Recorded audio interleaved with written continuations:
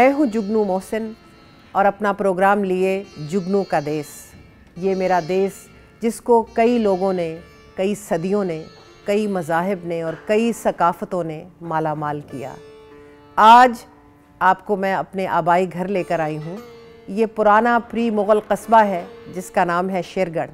और शेरगढ़ इसलिए कि 500 साल पहले शेर शाह सूरी ने इसको गैरिजन किया था। और उनके एक गवर्नर थे जिन्होंने इस शहर के इर्द गिर्द, इस छोटी सी बस्ती के इर्द गिर्द, एक दीवार बनाई थी और इसका नाम डल गया। और 500 साल पहले ही हमारे जद्द अमजद हज़रत दाऊद बंदगी किरमानी, किरमान जो कि ईरान में है, वहाँ से कूच करके यहाँ आए इस्लाम की तलकीन करने। करीबन उसी वक्त जब मुगलिया सल्तनत इस्टेब्लिश हो चुकी थी तो अकबर बादशाह के ज़माने में मुल्ला बदायूनी यहाँ तशरीफ़ लाए। उन्होंने हज़रत दाऊद बंदगी किरमानी को मुग़ल आज़म जलालुद्दीन मोहम्मद अकबर का दावतनामा पेश किया और कहा कि आप फ़तेहपुर सीकरी आइए, बादशाह सलामत आपसे दीन इलाही पे मशावरत करना चाहते हैं। अब दीन इलाही का जो सारा कॉन्सेप्ट था, वो एक शेख़ुल इस्लाम के लिए मुश्किल था, उसको एक्सेप्ट करना। तो हज़रत दाऊद बंदगी किरमानी ने बड़ी तमीज़ से मुल्ला बदायूनी को कहा कि जी, मैं दरवेश हूँ और मेरा शाह के दरबार में कोई काम नहीं। मुल्ला बदायूनी उनका जवाब लेके वापस चले गए और हमारे जद्द अमजद हज़रत दाऊद बंदगी किरमानी को यकीन था कि बादशाह का गज़ब ज़रूर उन पर टूटेगा क्योंकि वो इनकार के आदि नहीं। लेकिन अकबर बादशाह ने ये बाद में प्रूव किया कि उन जैसे रवादार शख्स शायद ही हिंदुस्तान पे हुक्मरान हुए हैं। उनकी रवादारी और उनकी टॉलरेंस उनकी फराख दिली ने हज़रत दाऊद बंदगी किरमानी को ना छेड़ा और वो यहाँ तलकीन करते रहे। अकबर बादशाह ने दीन इलाही बनाया। उसका जो हुआ, वो आप लोगों को मालूम है। लेकिन Akbar has been one of the greatest rulers of the subcontinent मेरे साथ आज मौजूद हैं एक बड़े पुराने शख्स इस शेरगढ़ की धरती में बसने वाले। जिनका मेरे आबाव अजदाद के साथ बड़ा करीबी ताल्लुक़ रहा है और इस इलाके की तारीख़ पे बड़ी गहरी नज़र रखते हैं मिलिए बाबा करम इलाही से बाबा सलाम ਵਾਲੇਕਮ ਸਲਾਮ ਕੀ ਹਾਲ ਹੈ ਬਾਬਾ ਦੁਆਵਾਂ ਤੁਸੀਂ ਮੇਰੇ ਵਡਕਿਆਂ ਦੇ ਨਾਲ ਰਹੇ ਹੋ ਜੀ ਲੇਕਿਨ ਉਸ ਤੋਂ ਪਹਿਲੇ ਵੀ ਤੁਹਾਡੀ ਇੱਕ ਜ਼ਿੰਦਗੀ ਸੀ ਜੀ ਜੀ ਤੇ ਮੈਨੂੰ ਦੱਸੋ ਕਿ ਤੁਸੀਂ ਇੱਥੋਂ ਦੀ ਤੇ ਪੈਦਾਵਾਰ ਨਹੀਂ ਹੋ ਮੈਨੂੰ ਪਤਾ ਹੈ ਕਿ ਤੁਸੀਂ ਸ਼ੇਰਗੜ੍ਹ ਦੇ ਇੱਕ ਨੇੜੇ ਕਸਬਾ ਹੈ। ਜੀ ਪਿੰਡ ਗੌਰ। ਪਿੰਡ ਗੌਰ ਜੀ। ਖੜੇਪਰ ਸ਼ਰੀਫ ਦੇ ਨੇੜੇ। ਜੀ। ਉੱਥੋਂ ਦੇ ਰਹਿਣ ਵਾਲੇ ਜੀ, ਸੋ। ਜੀ। ਅੱਛਾ ਉਹਦੇ ਬਾਅਦ ਤੁਸੀਂ ਕਿੱਥੇ ਗਏ? ਉਸ ਤੋਂ ਬਾਅਦ ਜੀ ਮੌਤ ਦੇ ਮੌਤ ਨਾਲ ਮੁਕਾਬਲਾ ਨੇ। ਕਿਉਂ? ਕਿ ਮਾਂ ਬਾਪ ਸੀ ਜਿਹੜਾ ਉਹਨਾਂ ਨੂੰ ਪਿਆਰਾ ਹੋ ਗਿਆ। ਸਾਡਾ ਬਾਪ ਬਾ ਸੀ ਸਾਨੂੰ ਲੈ ਕੇ ਭੈਣ ਦੇ ਦਰਵਾਜ਼ੇ ਤੇ ਤਾਰਾ ਸਿੰਘ ਚਲਾ ਗਿਆ ਜਪਾਲਪੁਰ ਉੱਥੇ ਫਿਰ ਰਹਿ ਰਿਹਾ ਆਇਆ। ਉਸ ਤੋਂ ਬਾਅਦ ਕੁਛ ਹੋਸ਼ੋ ਆਵਾਜ਼ ਸੰਭਾਲੀ। ਆਪਸ ਵਿੱਚ ਝਗੜੇ ਹੁੰਦੇ ਆਵਾਂਦੇ ਰਹੇ। उस तो बाद में महंत गरदारी लाल को चला महंत गरदारी लाल जो कि यहाँ भुमन शाह एक जगह है वहाँ कदीम हवेलियाँ हैं किसी दिन आपको वहाँ भी ले जाएँगे। और भुमन शाह भुमन एक पुरानी हिंदू फैमिली थी शाह बड़ी वड्डी गद्दी सी। हाँ। और वहाँ पर भुमन शाह के इलाके में महंत गरदारी लाल बहुत बड़े जिम्मेदार थे। हाँ। उनके पास बाबा करम इलाही मुंशी हो गए। तो लाला बद्रीनाथ दो मुंशी है लाला बद्रीनाथ और करम इलाही महंत गिरधारी लाल साहब के मुंशी रहे किवें सी हो सारा कम ਸਾਰਾ ਕੰਮ ਜੀ ਜੋ ਕਾਰੋਬਾਰ ਆ ਉਹ ਮੇਰੇ ਤੇ ਲਾਲਾ ਬਦਰੀਨਾਥ ਦੇ ਹੱਥ ਚ ਆ।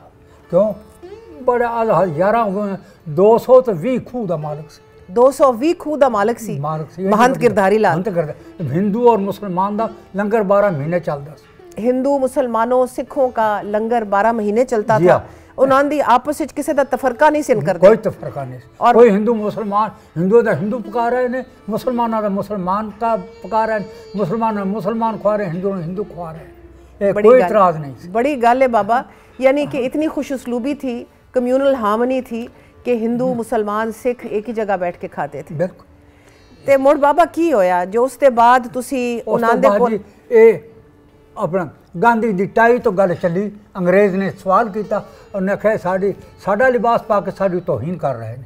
ਤੇ ਉਸ ਵਕਤ ਗਾਂਧੀ ਨੇ ਸੋਚਿਆ ਵੀ ਅਸਾਂ ਨਾ ਦੀ ਟਾਈ ਲਾਈ ਤੇ ਤੋਹੀਨ ਹੈ ਸਾਡੇ ਤੇ ਜਦ ਸਰਦਾਰੀ ਕਰ, ਸਾਡੀ ਤੋਹੀਨ ਹੀ ਨਹੀਂ। ਫਿਰ ਕਾਇਦੇ ਆਜ਼ਮ ਦੇ ਕੋਲ ਗਿਆ, ਮਿਲਿਆ, ਮਿਲ ਕੇ ਤੋਂ ਨਾਲ ਗੱਲਬਾਤ ਕੀਤੀ। ਗੱਲਬਾਤ ਕਰਨ ਦੇ ਨਾਲ ਉਸ ਵਕਤ ਉਸ ਜਿਹੜੀ ਲੁੱਟਮਾਰ ਸੀ, ਸੰਨ 47 ਦੀ, ਇਹਦਾ ਕੰਮ ਸ਼ੁਰੂ ਹੋ ਗਿਆ।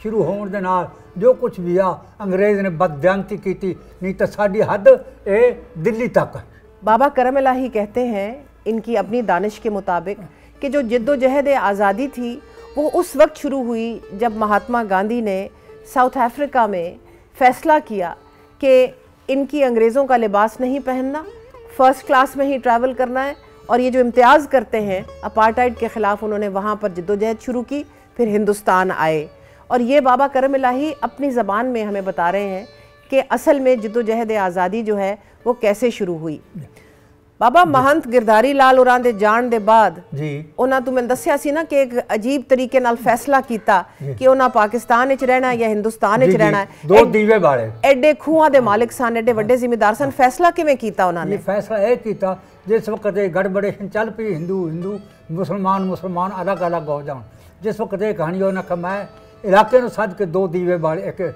ਪਾਕਿਸਤਾਨ ਦਾ ਇੱਕ ਹਿੰਦੁਸਤਾਨ ਦਾ ਦੋ ਡੀਵੇ ਬਾਲੇ ਦੋ ਦੀਵੇ ਬਾਲੇ ਜਿਹੜਾ ਬੁਝ ਗਿਆ ਉਸ ਪਾਸੇ ਟੁਰ ਗਿਆ ਕਿਹਾ ਕਿ ਹਿੰਦੁਸਤਾਨ ਦਾ ਜਿਹੜਾ ਦੀਵਾ ਸੀ ਉਹ ਬੁਝ ਗਿਆ ਉਸ ਨੇ ਖਲਾਓ ਤੁਹਾਡੀ ਮੇਰੀ ਫੀ ਅਮਾਨ ਅੱਲਾ ਲੜਿਆ ਬੋਲਾ ਮਾਫ ਕਰ ਤੇ ਚਲਾ ਗਿਆ ਮਾਨਤੇ ਚਲਾ ਤੋਂ। ਗਿਆ ਉਸ ਤੋਂ ਬਾਅਦ ਫਿਰ ਮੈਂ ਮੌਜ਼ੇ ਸੇਤੀ ਆਇਆ ਇੱਥੇ ਆਣ ਕੇ ਚੰਦ ਦਿਨ ਰਿਹਾ ਮੇਰੇ ਬਾਪ ਦਾ ਤੁਹਾਡਾ ਪਰਦਾਦਾ ਛੋਟੇ ਸ਼ਾ ਬੜਾ ਪਿਆਰ ਵਾਲਾ ਬੰਦਾ ਸੀ।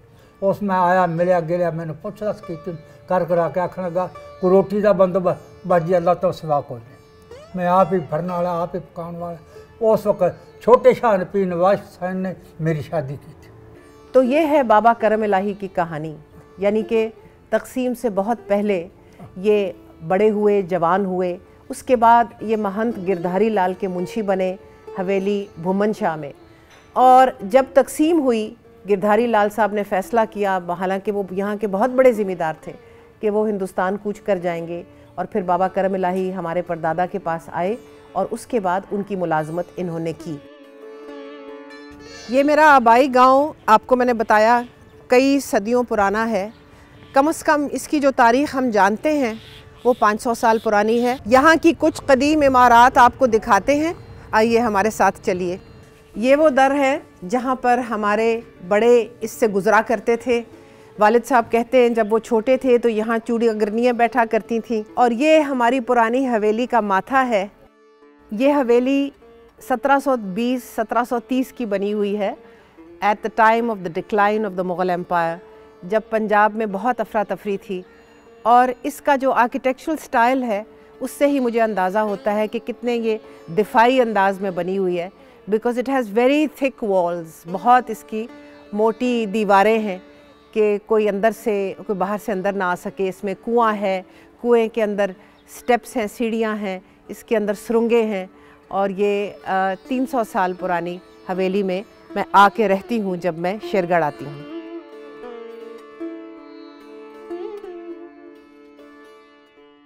और यहाँ पर अनाज जो आते थे, चाहे गेहूँ हो, चाहे चावल हो, चाहे गुड़ हो, वो सब कुछ यहाँ पर अंदर स्टोर किया जाता था। काफ़ी बड़ी हवेली है और यहाँ पर आगे यहाँ सहन में बैठ के वो अपना सारा अंदराज करते थे। सुना है सफ़े लगी होती थी और कई मुंशी साहिबान यहाँ बैठे थे और वो अनाज का, फ़सलों का, सबका अंदराज करते थे। पुराने रजिस्टर्स में, फ़ारसी में, फिर उर्दू में और जैसे जैसे वक्त बदलता गया, उसी तरह। आपको हज़रत दाऊद बंदगी किरमानी सरकार के दरबार पे लाई हूँ, जो हमारे जद्द अमजद थे। जिनका पंद्रह में इंतकाल हुआ और पंद्रह में दस साल बाद हाकिम वक्त ने उनके लिए ये बेहतरीन, खूबसूरत मकबरा बनवाया। और यहाँ हम हमेशा आके फ़ातह ख़ानी करते हैं। हज़रत दाऊद बंदगी किरमानी साहब की तलकीन को याद करते हैं। और जो सुलह कुल के ऊपर सूफिया कराम ने एक दर्स दिया था, उस पर पाबंद रहने की कोशिश करते हैं। मेरे वालिद साहब अपनी ज़ाती गिरा से वक्ता फ़वक्ता मज़ार को और साथ जो बीबियाँ पाक का मज़ार है, उसको ठीक करवाते हैं। लेकिन असल काम तो ये सरकार का है ख़ास तौर पे जब ये इमारत औकाफ में चली गई हैं। आइए फ़ातह ख़ानी करते हैं।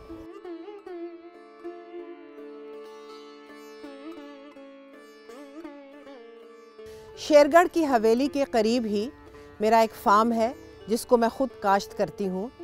और आपको आज सरसों के मौसम में मैं यहाँ लेकर आई हूँ। क्यों? क्योंकि हम खेत में जाएँगे, सरसों तोड़ेंगे, उसके साथ धनिया, पालक, मेथी, ये सब चीज़ें इकट्ठी करके, हरी मिर्चें डाल के आपके सामने सरसों का साग पकाएँगे। काश के आपको खिला भी सकते।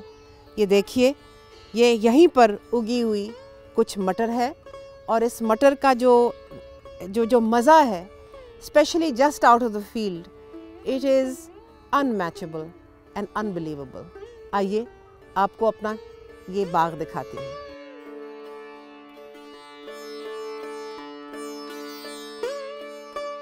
आपको बताती चलूँ कि ये बाढ़ जो है, इसको खट्टी की बाढ़ कहते हैं। और ये जगह जगह पंजाब में पाई जाती है और हिंदुस्तान, पाकिस्तान के इलाकों में भी ज़रूर होगी। साउथ ईस्ट एशिया में भी ये पाई जाती है। काश के आप ये सूंघ सकते। इसकी खुशबू बेमिसाल है। I think it's called kaffir lime in South East Asia और काफिर लाइम उनकी क्विजीन में बहुत इस्तेमाल होता है। आपने टाई ग्रीन करी खाई होगी, उसमें काफिर लाइम इस्तेमाल होता है और बाकी बहुत सी डिशेस में भी होता है। क्या मज़ा है इस मटरी का? सो so फ्रेश और ये जो छिलका है इट्स बायोडिग्रेडेबल इसको जहाँ मर्ज़ी फेंक दे, वो सॉइल का हिस्सा बन जाएगा। And smelling the kaffir lime unbelievable fragrance क्या खुशबू है और ये जो पीपल है, जिसके साय तले हम खड़े हैं, ये बहुत बड़ा पीपल है। और ये मेरा ख़्याल है, कम से कम सौ, डेढ़ सौ साल पुराना है। इसको आप इसके तने देखें तो आपको एहसास होगा कि ये कितना पुराना दरख्त है। इसी किस्म के घने पीपल के नीचे हमने सुना है, महात्मा बुद्ध आके बैठे थे। और यहाँ पर उन्होंने कई हफ़्ते, कई महीने, कई साल गुजारे। और उन्होंने ऐसे ही किसी दरख्त के नीचे बैठ के अपनी सोच विचार की, अपनी एक्सरसाइजेस की मेडिटेशन की। और फिर सुना है कि इसी ज़रिए उन्होंने निर्वाणा पाया। पंजाब में आजकल सरसों की बहार है। ये पीले फूल सारे खेत यहाँ पर इन पीले फूलों से आवेज़ा हैं। या इन्हीं में ही गंदलें होती हैं साग की, जिनको हम सरसों का साग कहते हैं। उनको यहीं से तोड़ेंगे और यहीं से पकाएँगे। तो खेतों से सब कुछ ले आए हैं।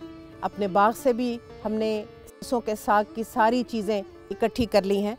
आपके सामने ये मेथी है, जो हमने खुद तोड़ी है और इसको सेबे में बाँध के रखा है यहाँ तैयारी के लिए।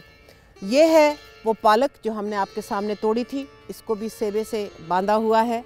और ये हैं सरसों की गंदलें जो तोड़ी हैं अभी, और ये वो धनिया जो यहाँ से लिया है। और ये शुरुआत है उस लहसन की, जो कि बड़ा हो के पूरा एक गुलाब सा बन जाएगा। लेकिन फ़िलहाल हमारे पास यही मैसर है एंड इट स्मेल्स डिवाइन क्या पावरफुल स्मेल है लहसन की। और साथ हरी मिर्चें हैं और साथ इसके ये मक्खन है जो यहीं पर हमारी भैंसों से आ, हमें मिला है। इसके साथ हम साग पका के उसका इस थोम के साथ थोम तो पंजाबी में कहते हैं इस लहसन के साथ तड़का लगाएँगे और आपको खिलाएँगे। उसके साथ नमक है और नमक के साथ यहीं का कुएँ का पानी है जो डोल में पड़ा है और अब शुरू करते हैं। सारा साग, पालक, धनिया, मेथी, हरी मिर्चें, सब कुछ नमक डाल के हमने हांडी में रख दिया है इकट्ठा करके और इसके अंदर थोड़ा सा हमने पानी डाल दिया है। अब हम आग लगाते हैं और इसको आहिस्ता आहिस्ता पकने देते हैं।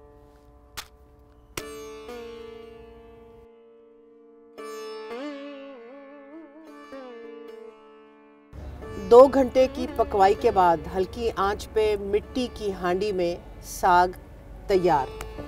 मुलायजा फरमाइए, ये हमने यहीं पर तोड़ा है और यहीं पर पकाया है। इसके साथ हम थोड़ा सा यहाँ का ही बना हुआ मक्खन गर्मा गर्म साग के ऊपर रखते हैं। हालाँकि इस पे तड़का लग चुका है, लेकिन इसको दोबारा नई शक्ल देने के लिए मक्खन भी इसके साथ मिल गया। और फिर एक छोटी सी भुजिया भी हमने साथ पका दी, जो कि आजकल की सब्जियों की सौगात है। गाजर भी यही है, मटर भी यही है। आलू एक पास के खेत से हम तोड़ लाए हैं। और ये है मक्की की रोटी, जो साग के साथ हमेशा पंजाब में खाई जाती है। ये मक्की की रोटी मक्की के आटे से बनती है और इसके बगैर साग खाया नहीं जाता। मैं आपको यहाँ मुतारफ़ करना चाहूँगी अपनी कज़न के साथ। सीमी सैदा इनका भी यहाँ करीब ही फार्म है। ये मेरे साथ मिल के साग खाएँगी। मेरे भाई मखदूम हुसैन अब्बास साहब धनिए की चटनी और पुदीने की चटनी और ये काला नमक, जिसे हिमालयन सॉल्ट कहा जाता है, जो नमकों में बेहतरीन नमक समझा जाता है और जिसके लिए बाहर की दुनिया इतने इतने पैसे खर्च करती है। चलिए जी, बिस्मिल्लाह, शुरू कीजिए।